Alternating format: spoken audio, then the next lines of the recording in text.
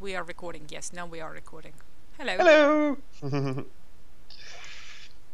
right, so we're here now to discuss the sort of um,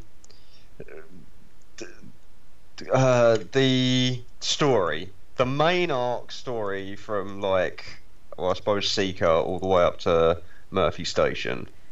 Uh, the the main arc of Chaos Nova universe, mm-hmm. basically, because right now the stories that we have shared are taking place on very detailed levels. Uh, just to just to explain to you what uh, what I'm showing on the screen, I am currently displaying like fractally spirals i- in the screen. Can I view it bigger? Should I should I share my screen with you? Yeah, can do. Let's do that. Then you can see what the viewers can see. I'm operating from low tech notepads, so oh, oh yeah, okay. I don't need my computer right now. So share away. Bam. So, which one is the most suitable? Okay, let's take take this one. My internet connection is. Right. So, There we go. uh,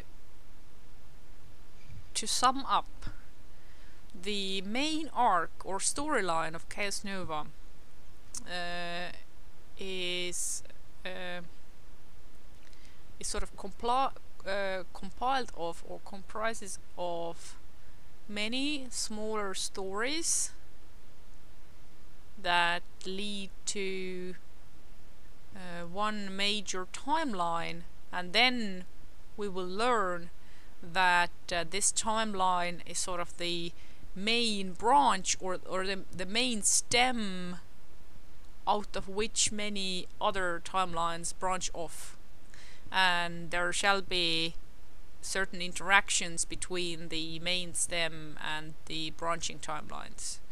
Uh, it is we, we, we have we have our own system figured out basically for that Mhm. and uh, this this whole this whole thing it is it works like uh, it basically works like a metaphor for uh, for storytelling or a metaphor for uh, uh, save games when you have your main game and then you have the offshoots and variations and even though you can experiment in the different uh, in the alternate lines or or in different uh, uh, different subsaves or or substreams it all still adds up together into the same main thing. So that's that's like that's the crux of it. Mhm. there there are there are more than one of everything. The the stories that we have are merely one variation of many possible uh, possible timelines. So it's like it's it's it's not that uh, what a coincidence that this character happens to be in that timeline. No that's not the case. The this character is described because that is the timeline that we are observing so we are we are observing many smaller offshoots or branches of the main reality.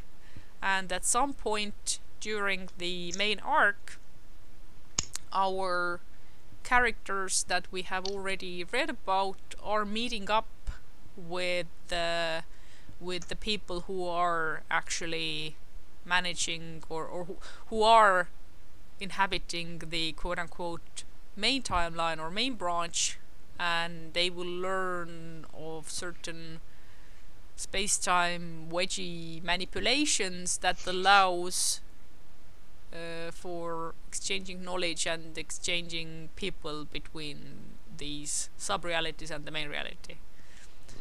Th- This okay. This this may be when I put it like this, it sounds a little bit confusing, but uh, but trust me, we we we ha- we have an idea what we're doing. Oh, wait, I, I lost my shiny image. So this one. So this this image is actually a pretty good illustrator. So even though there there are all these uh, story variations going on and the, the closer you zoom in the more variations you can see and the more detailed variations there are it all uh, builds up into one uh, one system. And uh, so it's it's it's not the case of uh, let's say parallel realities or, or, alternate timelines in a way that you see in some some other uh, science fiction works where the parallel things uh,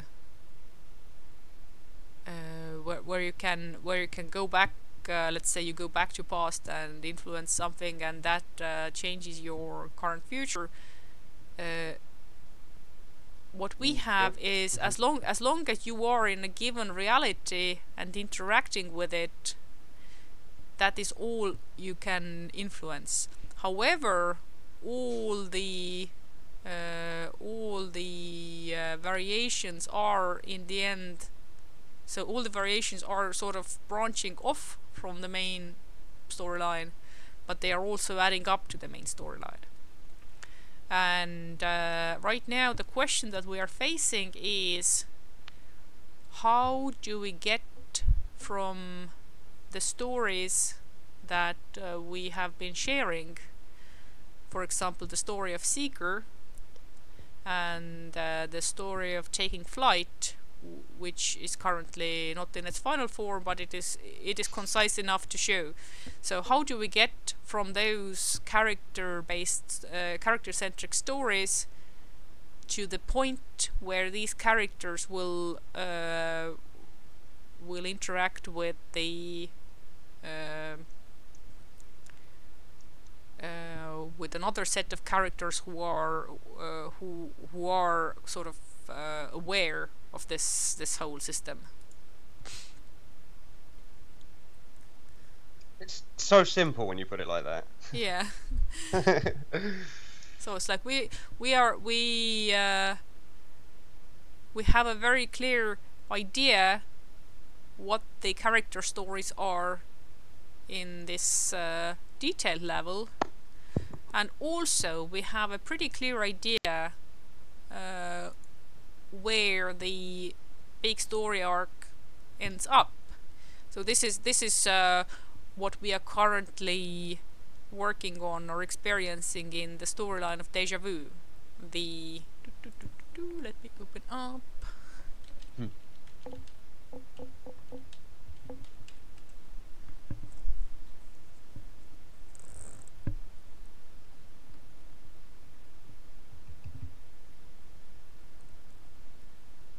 So it's um, again bringing uh, bringing in uh, metaphors and comparisons uh, with other works.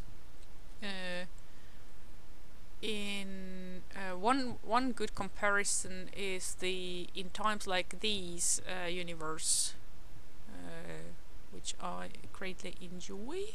So there, there you have time travel, and I think in the second or third book it is revealed that uh, the time manipulations or, or the time streams are in fact uh, fractal. So when when you are changing something and when you are interacting with the time then uh, uh, then you end up sort of snowflaking the uh, or branching or snowflaking the the timelines so there there are actually many realities. But I think uh, one major difference with us is that uh, is that you can sort of it is it is still uh, time manipulation so you can still return to your main thing having influenced your main thing. But in our case you can't directly manipulate events uh, you, you can't try time travel basically. you, you can you can sidestep into a mm, into a uh, branching timeline and do some stuff there. But when you when you return to your given reality, or your your native reality, then everything that happens there still happens there. hmm You can only you can only go and fail in another timeline and learn and return to your your own reality with that new knowledge. So that is that is one major point. Okay, so deja vu is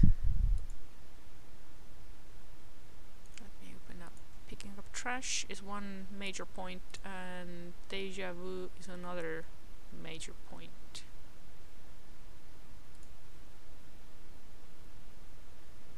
Leakage.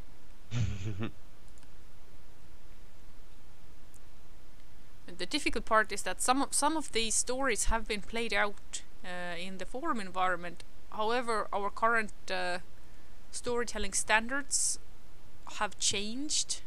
The Mhm. skill levels have changed. So some of the stuff that worked in the forums will not work as a uh, as a commercial story. Right. So story time. Deja vu. It was happening again.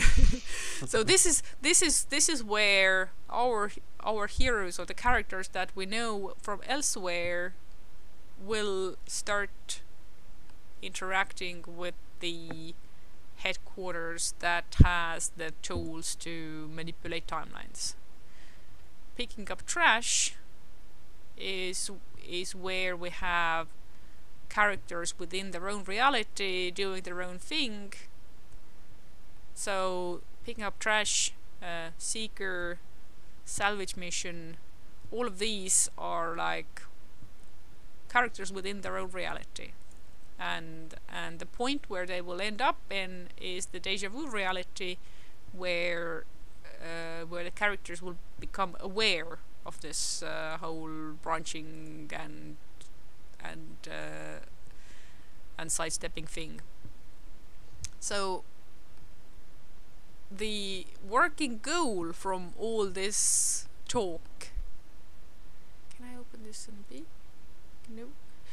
Yeah. So the uh, uh, the the working goal from from all this big talk is uh, we need to figure out how to get from here to here without overstraining ourselves because uh, on one hand yes there are interesting stories going on on on the character within reality level but if we tang if we get tangled too far in them or like if we tangle ourselves too much in them we will overstrain our capabilities and we just won't make it into the main arc. So it's like uh, we need to figure out the stories we need to tell for getting our characters from here to here, basically, Mhm. or or or or from let's see from from here to here.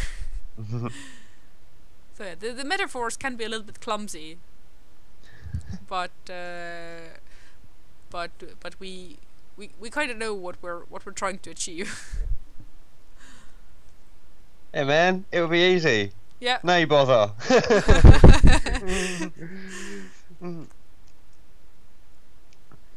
So next you you had some ideas, didn't you? I've got it down to five. Okay. In okay, I should point out that this is just the Corey Destiny Nux Chaos uh, trouble side. Like so, if if we're ignoring Seeker and all the Mhm. other stuff for a minute, I've got it down to five. Mhm. Taking Flight, Smuggler's Run, Alicia, Servo and the Boogeymen, uh, Boogeyman, which is where they off him, and then number five, Murphy Station Deja Vu. I've managed, I and but this is still a work in progress. Uh, so I I would say that there is one major issue with outlining like this is that this outlines the chronological step, uh, the chronological steps that the characters will have to go through, but uh, the issue or the goal that I have in mind is more about how do we start dripping uh, the information that there is some bigger shit going on. So I think that's right now. This is our uh, our most uh, this this is the weakest uh, weakest point in the storytelling. Like we we know how to tell the uh, the character based parts. Well, Mhm. okay, we we can still get our skills better, but we we're basically we basically know the stories that we're telling there. We also know the story that we're telling once we've reached the deja vu point hmm but uh, the the connecting part I think is missing. Like we we don't know yet how to uh, how to start introducing the weirdness so that the, the characters as well as the readers will start picking up that okay uh, something is off here. There there must be something else going on. Hmm so, for example, in uh, in case of Seeker, this would be all the little things that uh, uh, that in uni- that in timeline uh, seem to be coincidences. So it's like, how come uh, how come Fortune uh, happened to escape just before uh, uh, Jewel got to the presentation? How come the uh, uh, the dude that Jewel had once arrested herself ended up in the same prison station where her brother ended up in. Uh, and and uh, I think there there were other other uh, tidbits like this, and uh, and we have planned to assign some uh, in timeline meddling to these things. So, for example, an in timeline meddling uh, would happen when uh, uh, when Jewel has started the uh, Jewel has started uh, the contract uh, to to Free Fortune, and once she once she interacts with the once she um, how should I say once she opens it takes on the case the whole web of secrets that comes with that case is suddenly out. And the people who uh, who were behind the conspiracy that, that got her her brother arrested in the first place those people will know that uh, these secrets are now uh, in danger of being exposed so they will assign uh, Rafe to uh, to get and intercept shit what at, at whatever cost.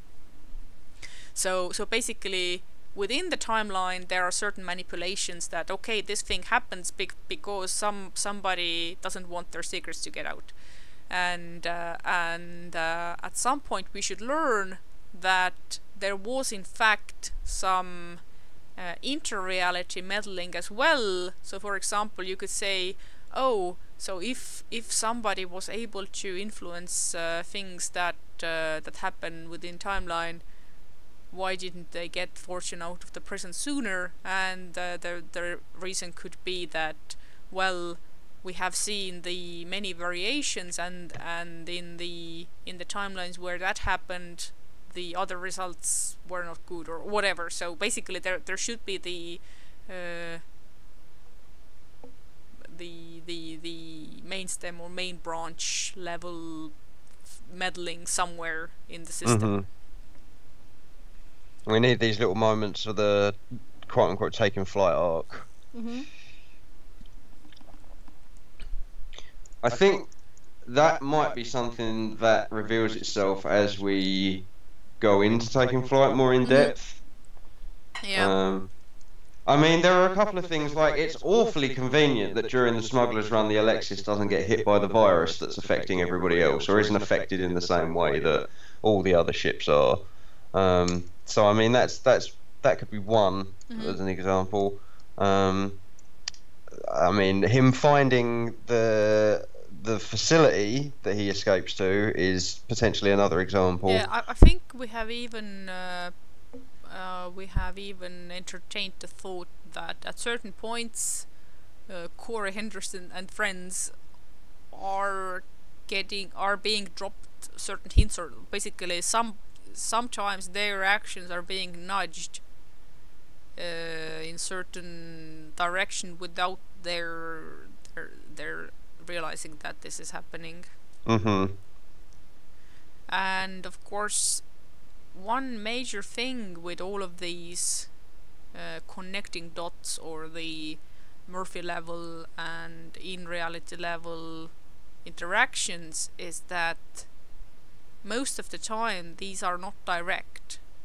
Most of the time the Murphy station is just sitting there observing the different timelines and uh, and picking out the the ones where they can pull people out of. Mm-hmm. So uh, a lot of the times they they are they, they are playing the long game. They are playing the sort of uh, building your stack game, and uh, and uh, the points where somebody from Murphy's side is actually actively intervening in the matters of another timeline like those those moments should be few and far between and they should be like major dramatic turning points Yeah.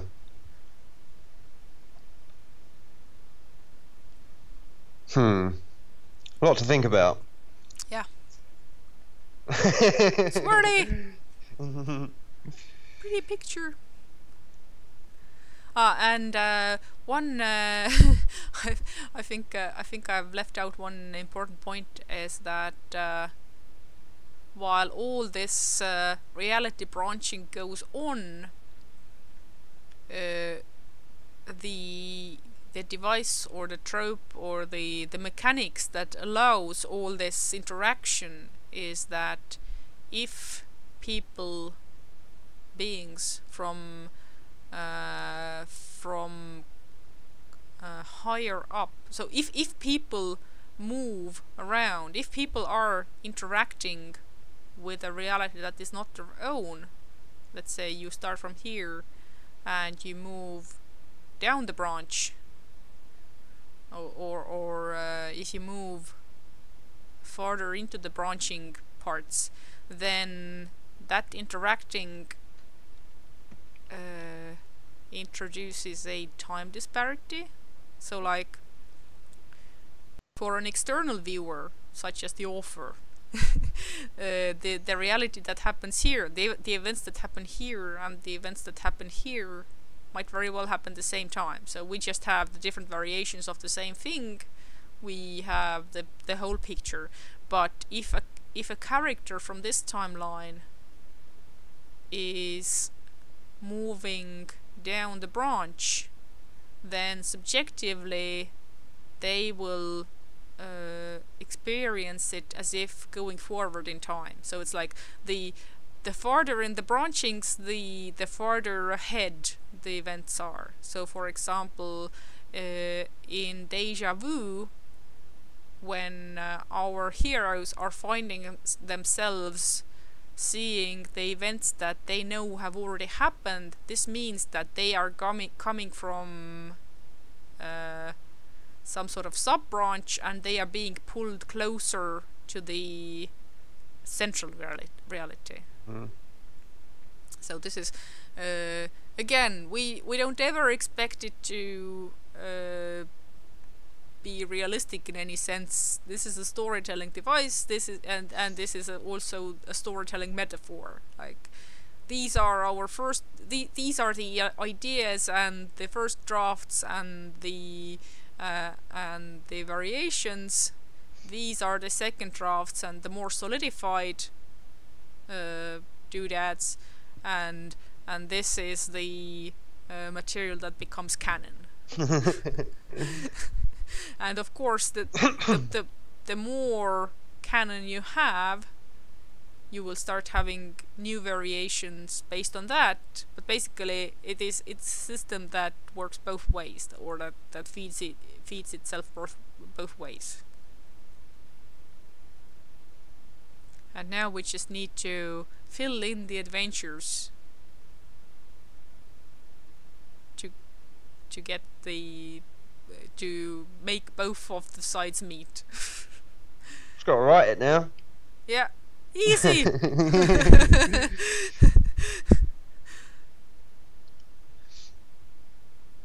Oh, I tried scrolling through your Pinterest then. That's uh, screen sharing. I have no control. you have no control. Mhm. Neither do many of our, of our characters. no. yes. So so to recap, we have the specific stories happening to specific characters, and then we have the main arc, and we need to find the connecting stories, and also we we need to be very selective what we feature and what we what we won't because otherwise we're just gonna swamp ourselves in the work and and the story never gets told. Mhm. And the story must be told. Yes. Let's save this one. Bam. I think uh, I think this is like this is it. the goal has been vocalized, verbalized. Mm. yeah, I I don't think I've got anything else to add. Me neither. Mhm. So I know this has been very very confusing. Uh, I, I don't I don't know yet what I sh- uh, what I should uh, file this under. Is it like is it the chat? Is it contents creation? Uh, con- uh, work session? Is Law with law and Knox. it world building? I Yeah. don't know. I'll I'll figure something out. yeah. And Thank you for watching. Yeah, we shall see you in the next one. Bye.